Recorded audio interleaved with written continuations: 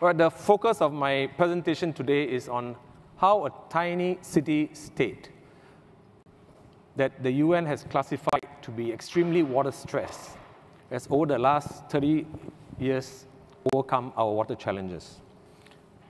All right, I will forgive you if you can't identify where Singapore is, so I have uh, brought it up. Um, and what is Singapore challenge? We are the densest country in the world, right? So you cannot compare Singapore with other cities like New York, Tokyo, Kuala Lumpur, Bangkok. Because we are a country as well as a city, we don't have a huge hinterland that can support the city in terms of water supply, energy, food. So what you see is what you get.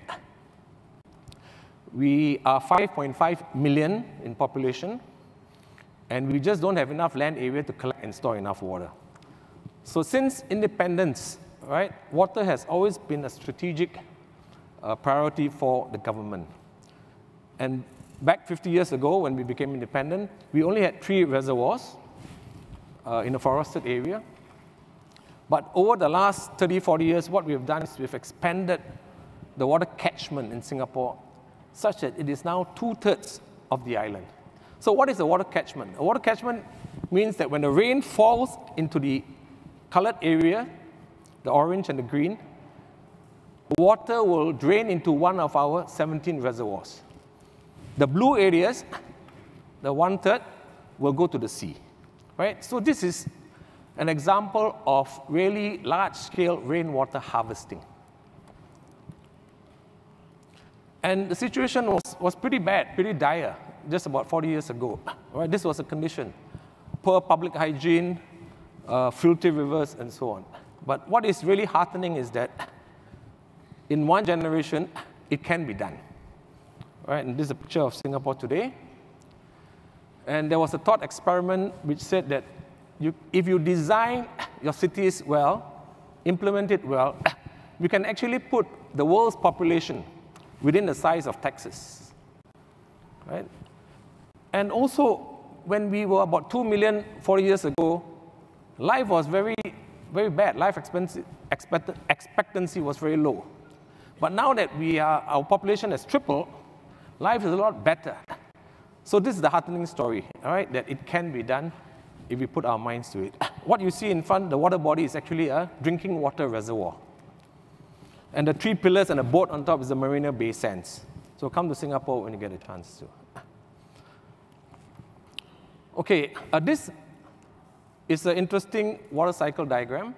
And Singapore is one of the few countries in the world where the entire water loop is managed by one agency. Right? And that's important because this is really large-scale systems thinking or systems approach in practice. Because there's a lot of synergy in the different parts of the water loop. Just let me explain. Right, if you were Gordon Feller, and Gordon Feller has been appointed as a director of drainage, right? If you are isolated as just a drainage director, your mission in life is to get rid of water as quickly as it hits the ground. Right? Drainage, you want to drain it away to prevent flooding. But water is such a precious resource. Why do you want to drain it away so quickly? But when you are part of the National Water Agency, your mission changes. Your mission now is not to drain away water, but to collect and store as much as you can. Only when you have an extreme storm and your reservoirs are all full, all right, you know, with a heavy heart, you let the water go. But that changes the way uh, you think about water. And in Singapore, all the rain that comes from heaven belongs to the PUB, belongs to us. Right? You are not allowed to do rainwater harvesting without our permission because we want to manage water at the systems level. Right? So the rain that hits Singapore, two thirds of it goes to our reservoirs, one third goes to the sea, then it goes through, then it's treated, and it goes to industries and household. And almost every drop of water that we send out, we try to collect back. We collect back, and then it's treated before it goes back to the sea. All right, so that's a normal water cycle. But what we did in about 2000, when membrane technology became available, we turned some of this water into what we call NEWater, which is high grade recycled water. And NEWater can now meet 30% of our demand, we use it mainly for industries, and some of it we put it back into the reservoir during the dry seasons. We also have desalination. So what this means is now in Singapore, we have what we call four national taps. The first tap on the right is water from local catchment, which is rainwater that we collect. We also have an agreement to import water from Malaysia. Then there's NEWater and desalinated water. Some insights from here. If you look at Johor water and water from local catchment, they are dependent on the weather, right? Whereas the other two, NEWater and desal, are independent of the weather. But they, they require a lot more energy. Right? So you have shifted your reliance on the weather to energy. But as a, as a portfolio, you mix and match. Uh, desal uses the most energy, about four times compared to NEWater. And of course, uh, rainwater takes away about a quarter of what NEWater takes. All right, so this is a picture of one of our 15 reservoirs very urbanized. All right, So what it means is where we live is also where we collect our rainwater, our drinking water. So it's important for us to keep the catchments clean. Uh, make sure we don't have pollutive industries within the catchment. Make sure the sewers are not leaking. Make sure that the citizens keep the place clean. Because if you throw rubbish on streets, it will wash into the drain and it will wash into one of our drinking water reservoirs. Okay, so my focus today is really on NEWater, which is high-grade recycled water. All right, it's a term that we've given, NEWater, and it is an island-wide project. Right, we have four plants building a fifth, and the red lines you see are pipelines that bring water east and west of the island. Now, the process is something uh, not very innovative, not designed in Singapore. We came to Orange County, we learned what we were doing, we went back, we put it together. These membranes are uh, Zenon membranes uh, owned by GE Water now. So it's a three-step process, microfiltration, reverse osmosis, and ultraviolet disinfectant. But really, the engineering is not the difficult part. The difficult part was really to get the community to embrace recycled water. And even before we went out to the community, we had to assure ourselves that recycled water is 100% safe and 100% pure. Right? So we did a lot of tests. We had independent experts to verify these tests.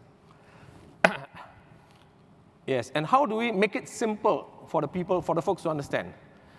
All right, so if you have a piece of membrane, and let me just do this again, right?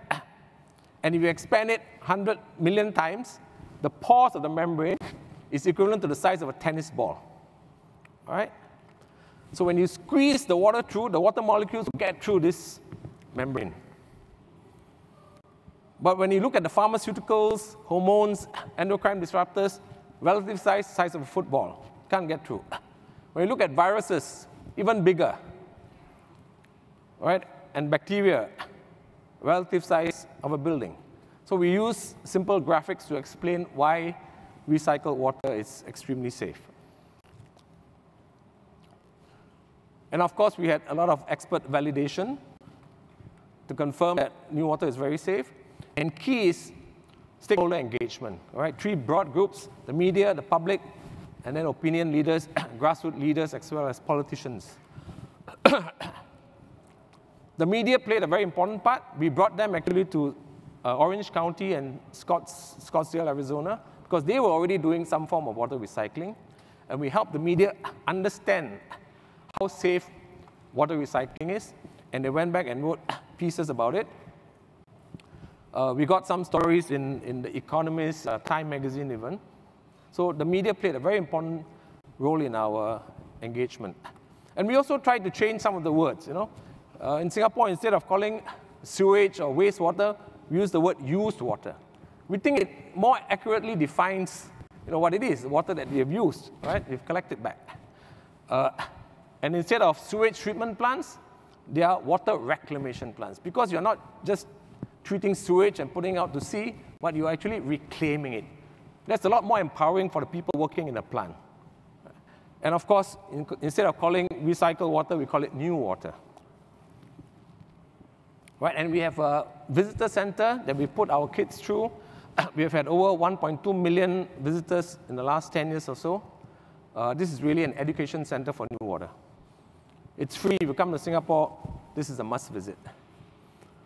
Okay, I share with you this very interesting uh, story. Uh, you see Secretary, Secretary, General Ban Ki-moon there, and the guy on the ground is uh, Prime Minister Lee Hsien-loong. So what happened was, a couple of years ago, Ban Ki-moon visited the NEWater Visitor Center. We showed him around. He was very pleased. Before he left, before he left, his staffers asked us for a few bottles of NEWater. Yeah, we happily gave it to them. We thought they were going to bring it back to the UN. But that evening, Prime Minister Lee hosted them to a dinner at the at the palace, right? And after his speech, it's customary that he drinks toast to the host nation. And you can see the butler bringing out very fine wine. Uh, and Ban Ki-moon said to the Prime Minister, Mr. Prime Minister, with your permission, can we toast with something better than wine? So Prime Minister was taken aback, you know. There's good Californian wine being served, you know. What is this Ban Ki-moon up to? And from his pocket, he brought out two bottles of NEWater, and they had a toast and this a great PR uh, exercise uh, by the UN. Okay, uh, desalination, right? Desalination is important because it gives us the first drop to recycle. Right? Currently, we can meet 25% of our demand with uh, desalination. Okay, so in summary, the principle in play are three principles. One, we try to collect as much as we can, every drop of rain that falls. We are two-thirds now. We are trying to increase it. And after we've collected every drop, we try to collect back every drop that is used. And we try to recycle every drop. So in our minds, we don't sell you water, we loan you the water. We loan you the water, you use it, we take it back, we are like a laundry service. I send it back to you. It makes a lot of sense for cities. Then you don't move uh, water, you know, over great distances. So we're like a laundry service, all right? Uh, and actually, the water that you drink today is the same water that the dinosaurs, the same water that Jesus Christ drank many, many years ago. We don't create new water molecules. What we do is, instead of the natural water cycle, taking many, many millions of years, we use science and technology to shortcut the water cycle. That's what, what we're doing. Okay, I shift a little bit now to, since this is about an urban uh, sustainability uh, gathering, uh, we made a major shift in the way we manage our water assets because we have so much water assets that we say hey, we should do something useful with it. So we created a program called the Active, Beautiful, and Clean Waters Program, something that sort of Tom Leader earlier spoke a little bit about. Really, instead of having very ugly utilitarian drains, very efficient to convey water, but not very useful, we create a lot of community space with it. Right? So this is sort of an island-wide project. These are some of the uh, examples. All right? This is a very interesting one. This is a concrete drain due for refurbishment. If we had followed the old mindset, it would have been a bigger drain and a deeper drain, but it will look very similar. What we did was we took away the drain and brought back the natural river with a floodplain. All right? And really the community really loves to come and enjoy uh, these projects. Okay, uh, desalination, right? The key thing about desalination is that it uses a lot of energy. The old way of desalination uses 15 kilowatt hour of energy to turn one meter cube of seawater to fresh water. This is basically boiling, right? Always. What we are doing now in Singapore and many other countries is to use membranes, reverse osmosis, and it's now about 3.5 to 4. But not good enough. So in, in uh, reverse osmosis, what you do is you exert a huge pressure to squeeze water through that membrane, right? And that uses a lot of energy. But instead of moving all this water through the membrane, hey, why don't you just pull out the minerals and salts, right? And that is called electrochemical desalting. Uh, we work with a company, American company, Evoqua. We are building a demonstration plant. We are very confident it will work. So instead of moving so much water through the membrane, what we do is we put an electric field through the membrane, uh, through the water, and we just pull out the salts. So when you move less particles, you use less energy. And we are looking at about 1.5 kilowatt. But really, the holy grail in uh, desalting or desalination is really to mimic the kidney right? The kidney is the most efficient desalting plant in the world. So we are trying to understand how the kidney works. We've got some prototypes, right? It's a, it's a protein called aquaporin. These are water channels. We have been, our universities have been able to synthesize it. It's now really how to engineer it, how to really layer this aquaporin onto the membranes so that it can behave like the kidney. And if we are successful, hopefully 10, 15 years time, uh, look at the numbers, 0.75 kilowatt. All right, uh, and every two years now, we have a gathering of water experts. We call it the Singapore International Water Week. If you have any interest in water, come to Singapore next year, 10 to 14 of July, uh, one week conference. We have something for everyone. We have a Water Leaders Summit where you have the ministers and CEOs talking about policy, governance, finance, and so on. We have about 2,000 technical water experts, engineers, scientists talking about water innovation. We have a huge uh, expo, exposition where buyers and sellers market their products. Uh, and there's a business forums and so on. So if you are really into water and you want to be involved in water, this is uh, the place to be. Right? Once every two years, next year, 10 to 14 of July. Okay, uh, this is my last slide. Uh, Gordon said I should say something about the Smart Nation framework. Uh, so I think Singapore has a vision to be the first smart nation, right? Not smart city, smart nation, because we are a nation and a city. and these are some of the areas we are looking in. Uh, for the water sector, what we are doing is we are putting in a lot of sensors into our distribution network so that we can get information on water quality, pressure, flow, and all that. So as the moment there's a leak in a pipeline, we will know before anyone else, and we can go, go down and fix it. But all these things that we do uh, to be a smart nation must be citizen-centric. All right, they must be done to serve the citizens better. So that's the key direction that the government has given us. I've got a couple of folks here from the Infocomm Development Authority of Singapore. Uh, they are helping to build that backbone for communication and nationwide uh, sensor networks, trying to put the backbone in place so that the other components can, can fit in. Um, just give you one example of how useful data is. Right? In Singapore, there are two big cab companies, one yellow cab and one blue cab. They collected past five years data on accidents. So they studied the data Eh? And they found that there were more accidents involving the blue cabs. They studied further, they found that most of the accidents or more of the accidents happened in the night. So they came to a conclusion that actually, and, and the cap caps were all randomized and, and you know, same, same uh, brands and so on. So the only reason that they could think of why the yellow caps had less accidents because it's brighter. Right? So the blue cap company is trying to see how they can make their caps more visible in the night. Right? So this is one example where if you have enough data and if you look at it in a clever way, uh, you are able to tease out insights that will be extremely useful for the community. Okay, I'm just about, yeah. All right, thank you very much for your attention. Thank you, George. Thank you. Fantastic. Well, one of the questions that kept coming up both on my personal email and through the Twitter feed, which we're going to get to this afternoon, and it's something I want you to maybe say a minute or two about, is the, the challenge to finance this.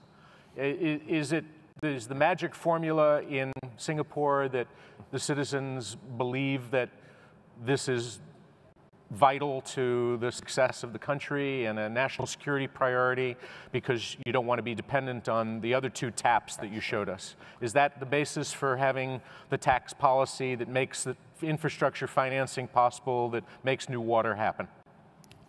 Okay, um, water has always been on the strategic agenda of the government, right? So in that sense, it made financing a lot simpler because the government is very clear that without a secured, reliable supply of water in Singapore, businesses will not come to Singapore, and your population cannot grow as, as it is.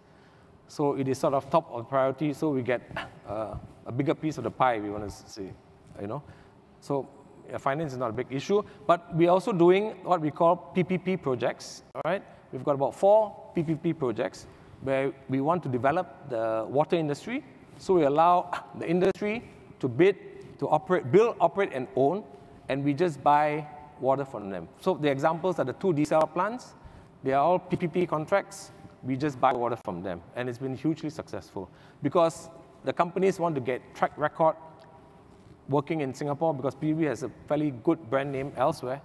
So if they had worked in PUB, they can get jobs in China, in the Middle East, and so on.